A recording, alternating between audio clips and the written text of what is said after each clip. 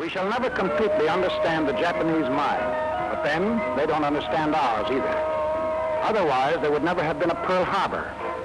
But we must try to understand Japan because we have become locked in the closest of all relationships, war.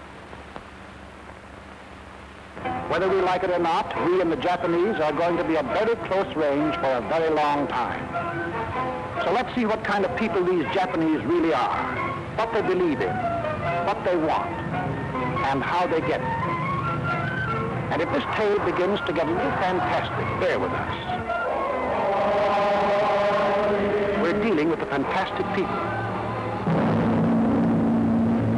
First, let's examine a typical Japanese soldier. His average height is 5 feet 3 inches.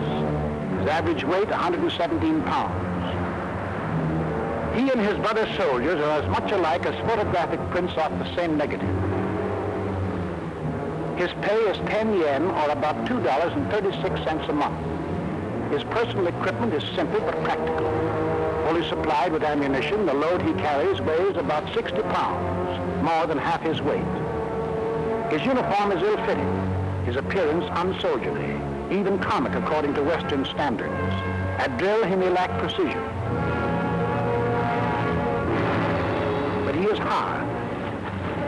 He is able. He knows his job. His endurance is phenomenal.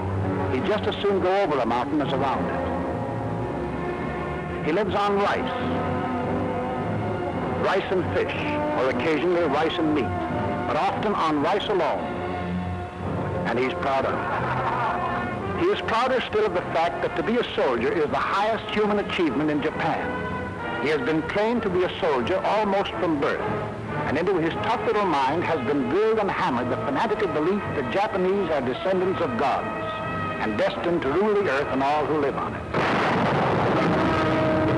To this end, treachery, brutality, rape, and torture are all justified if used against non-Japanese.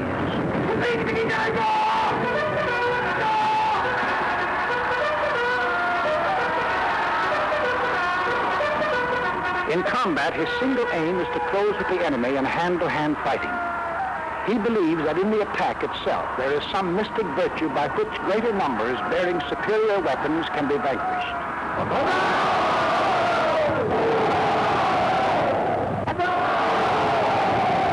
In his mind, there is usually no question of choice between death and surrender. To him, death in battle is the attainment of an ideal. Where his flag leads, he follows in a blind emotional rush. For his flag not only represents his country, it is also the image of his God of gods. His flag is the rising sun, and the rising sun is the symbol of the emperor. To the Japanese, their emperor is the most holy of holies, their visible God. He is also their political ruler, the natural and supernatural. Religion and politics all done up in a one-man package. Entrust to one man the powers of the President of the United States, the Prime Minister of Great Britain, the Premier of Soviet Russia. Add to them the powers of the Pope, the Archbishop of Canterbury, the head of the Russian Orthodox Church. Then top it all with the divine authority of our own Son of God. And you will begin to understand what Hirohito means to the Japanese, why they call him the God Emperor. For to the Japanese, Hirohito is a direct descendant of the sun. And what is so high, so brilliant, and so mighty as the sun? Accordingly, no one can stand above or look down upon the emperor. When he passes through the streets, all windows above the first floor must be tightly shuttered. Train to Tokyo from anywhere in Japan is the up train to Tokyo because the emperor lives there. Nor can the emperor be imitated in any way. Only his automobile may be maroon colored. Not even his tailor may touch the person of the emperor, for who would lay hands upon the sun?